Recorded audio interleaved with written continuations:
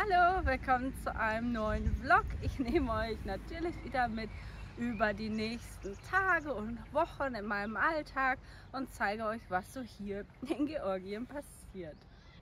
Wir sind jetzt aktuell auf unserem Grundstück. Ihr seht schon, das Haus steht nicht mehr, beziehungsweise die Ruine. Es blüht hier alles total krass. Wir müssen jetzt hier ein bisschen aufräumen, damit die Bauarbeiten anfangen. Die Steine werden wir, glaube ich, einfach nur an die Seite räumen. Da hinten, das Holz müssen wir verbrennen. Es blüht aber so schön, das sind Akazienbäume, äh, die da so schön äh, weiß blühen. Die werden wir wahrscheinlich in der Zukunft entfernen, äh, weil da ein ja, Schuppen oder so eine Art Schuppen hin soll.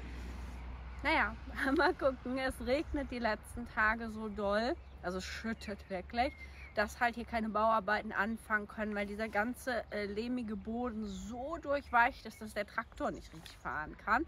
Also wir fangen jetzt schon mal ein bisschen an und ich hoffe, dass übermorgen die Arbeiten beginnen können.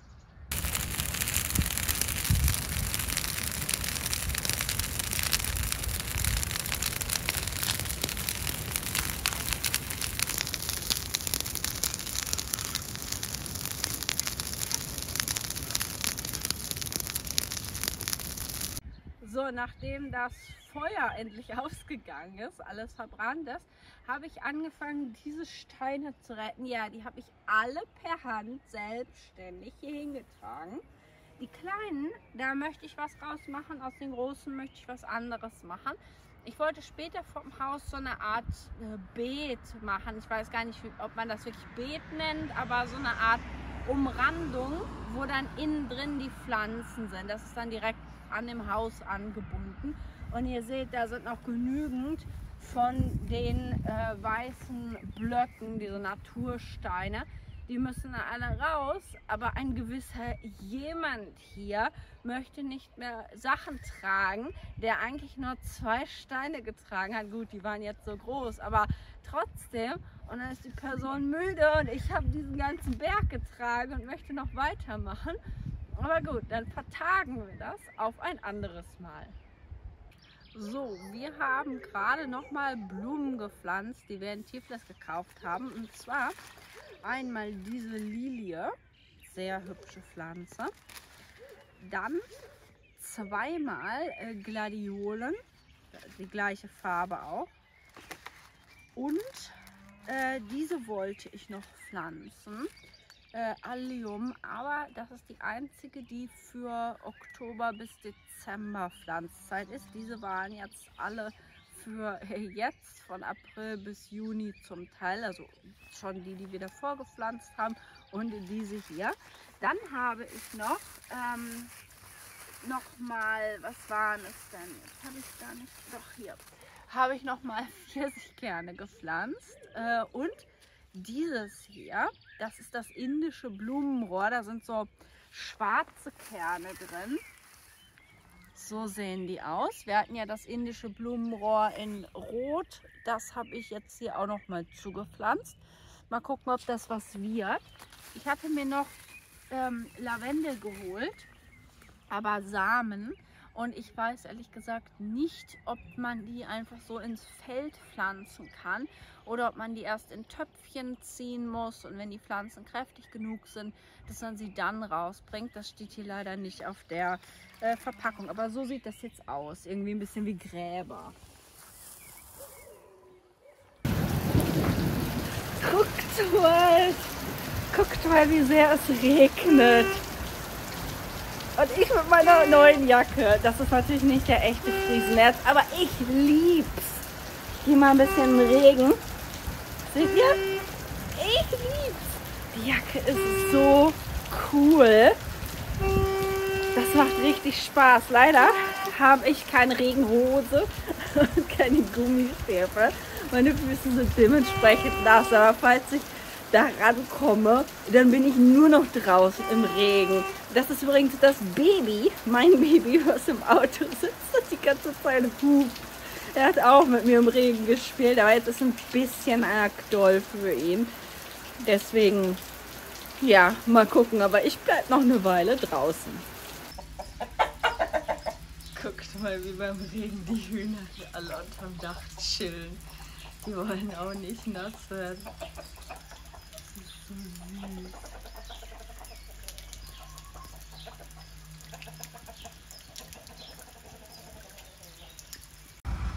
Wir sind bei unserem Grundstück. Es ist etwas laut. Wir haben gerade 500 Blöcke bekommen. Das Auto steckt fest.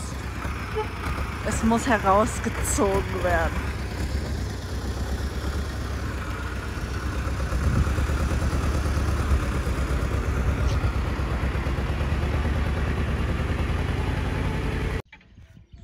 Mein Mann hat es mal wieder geschafft, zum zweiten Mal den Autoschlüssel in unserem Auto liegen zu lassen. Der ist jetzt da auf der dieser Hinterseite. Das Auto hat sich selbst verriegelt. Wir können es nicht aufmachen. Zudem kommt noch, dass meine Schwiegermutter kürzlich den Autoschlüssel gewaschen hat, der also auch nicht mehr geht. Und jetzt versuchen wir das irgendwie aufzumachen. Da der Autoschlüssel aber gewaschen wurde, funktioniert der nicht mehr und geht automatisch jede Sekunde in den Verriegelungsmodus. Das heißt, nur dadurch, dass man auf diesen Türaufknopf drückt, geht es automatisch zu. Wünscht uns viel Glück. Ihr seht schon, die Autotüren sind offen. Wir haben es geschafft. Und da schreit das Baby. Es ist offen. Hat sich doch gelohnt, dass ihr die Daumen gedrückt habt. Ja, cool. Und jetzt nehme ich direkt meinem Mann den Autoschlüssel ab. Wir laufen hier gerade, machen Spaziergang. Hinter mir seht ihr ein altes Kino. Das ist total verfallen, offensichtlicherweise. Aber ihr seht doch, nein, das könnt ihr gerade nicht sehen, da sind auf jeden Fall Kühe drin. Wir können mal ein bisschen näher gehen. Ich gehe mal mit euch gehe ich mal. Seht ihr, da steht schon die erste Kuh. Ja, und die laufen da so rum und futtern, was auch immer sie da finden. Ja, eigentlich cool, aber auch total gefährlich, ja, weil hier können ja im Prinzip Kinder spielen. Also da wäre jetzt die Straße da hinten. Und hier kann man also frei hinlaufen. Wir kamen jetzt gerade von da und sind hier lang gegangen bis zum Ende und jetzt sind wir bei dem Fluss rausgekommen. Den konnte man ja von uns aus über diese Brücke erreichen. Die zeige ich euch mal gerade. Das ist die Brücke da hinten. Da standen wir letztes Mal drauf. Guckt mal, wie blau das Wasser ist. Ich hoffe, ihr könnt das richtig sehen. Leider sieht das irgendwie in der Kamera, zumindest wie ich das sehe, gerade so ein bisschen gräulich aus. Aber es ist wirklich so ein ja, türkisblau. Ich gehe noch mal mit euch darüber.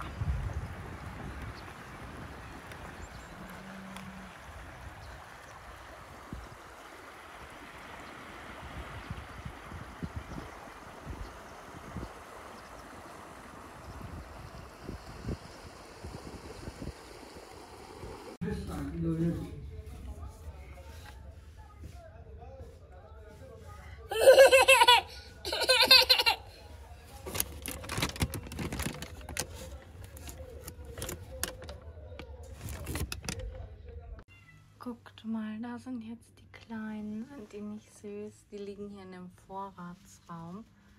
Oh, ich finde die so goldig. Zwei Stück. Ich glaube, die Mami schreit. Ich lasse die mal rein. Guckt mal, da ist die Mami. Ach, das sind aber zwei verschiedene Mütter.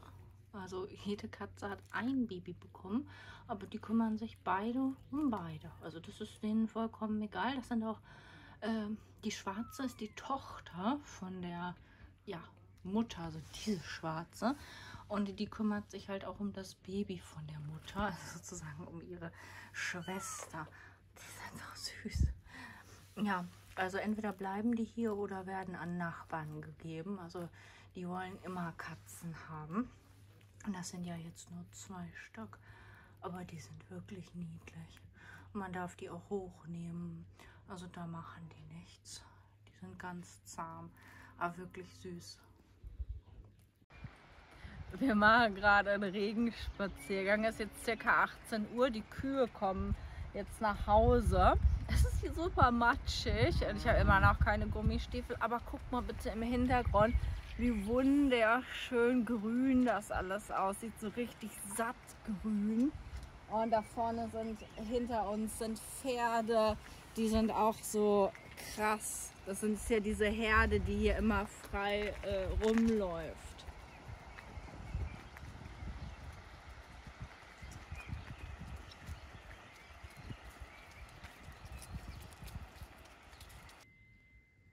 Wir waren einkaufen, wir haben uns einiges gekauft. Zwar Schuhe, die habe ich mir gekauft. Das ist dunkelblau, das sieht man jetzt leider nicht. Diese coolen Gummistiefel. Für meinen Mann die, das ist grün, das kommt jetzt auch in der Kamera eher grau rüber, auch Gummistiefel.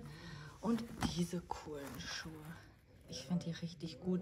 Und dieses T-Shirt von einem georgischen Fußballspieler, der spielt, glaube ich, für Italien. Ja, richtig gut. Dann haben wir noch gekauft ähm, einen Eimer, so eine Art Hacke. Ist bestimmt keine Hacke, sieht aber so aus. Und eine Sense, beziehungsweise nur das scharfe Teil von einer Sense. Ja, mal gucken. Die Schuhe ist jetzt alles Größe 36, außer die Gummistiefel. Da habe ich komischerweise 35, beziehungsweise noch kleiner bräuchte ich eigentlich. Ja, die Schuhe haben, glaube ich, alle nicht mehr als so 15, 20 Euro gekostet, eher 15. Aber bin ich echt froh, denn meine sind schon arg mitgenommen. Das ist noch das beste Paar. Die anderen sind komplett auseinandergefallen. Endlich habe ich ja nun meine Gummistiefel und jetzt kann der Spaß des Lebens beginnen. Jetzt brauche ich echt nicht mehr Angst zu haben, dass ich irgendwie nasse Füße bekomme. Ich habe jetzt tatsächlich, da war so ein Innensocken oder so aus so Filz drin. Dann war es zu eng. Ich habe jetzt einfach nur drei Paar Socken an. Dann ist Größe 35 okay. Ich werde da wahrscheinlich so eine Einlegesohle reinmachen, dass es einfach ein bisschen, ja, schon mal höher ist. Weil das Problem ist, ist dass ich hier hinten, äh, da rutsche ich raus. Und dann kann es halt, wenn ich durch Schlamm gehe, passieren, äh, dass der Schuh stehen bleibt und ich einfach weitergehe. Aber gut, ich liebe diese Schuhe. Die haben jetzt, was haben die denn gekostet? 7 Euro ungefähr, würde ich jetzt schätzen, die Gummistiefel. Habt ihr auch Gummistiefel und liebt ihr diese so sehr wie ich jetzt? Ich werde definitiv mit meinem Baby jetzt durch diese Wasserpfützen gehen, sobald er aufgewacht ist. Er schläft nämlich gerade. year.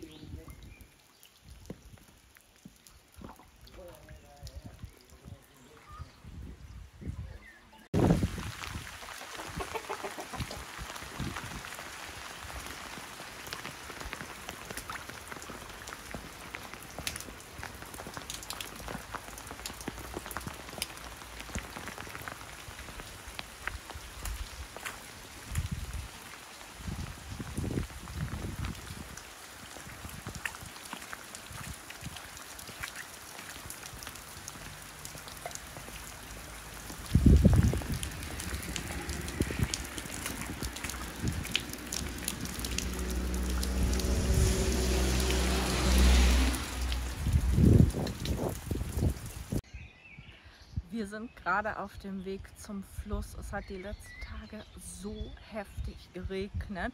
Ich habe versucht, euch das ein bisschen abzufilmen, aber ich glaube, man sieht nicht, wie krass das war. Es wurde noch schlimmer. Hinter mir dort ist eigentlich eine Wiese. Vielleicht könnt ihr das sehen. Das ist total überflutet und wir sind jetzt kurz vor dem Fluss und mein Mann wollte mir zeigen, wie es hier aussieht. Er meinte, man erkennt den Fluss nicht wieder. Das ist der Fluss, den ihr auch kennt.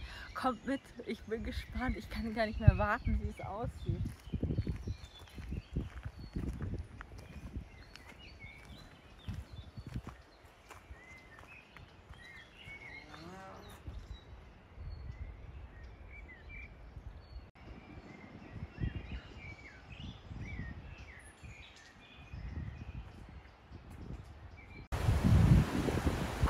mal, wie das aussieht. So krass ist der Fluss angeschwollen.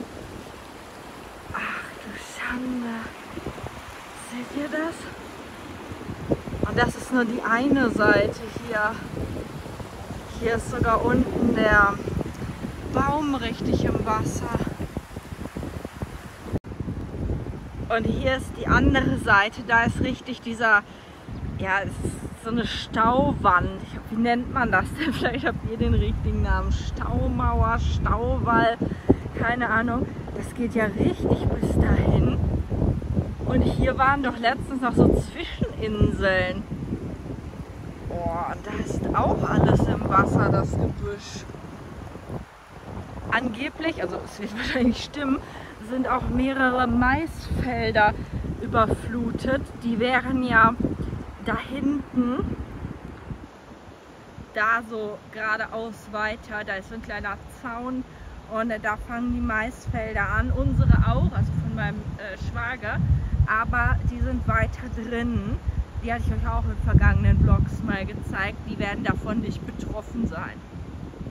Falls ihr im anderen Vlog das noch in Erinnerung habt, da so in der Mitte, habe ich mit meinem Baby vor einigen Monaten gesessen und wir haben uns den Sonnenuntergang angeguckt. Jetzt ist alles weg, beziehungsweise überflutet. Ich fand es so extrem.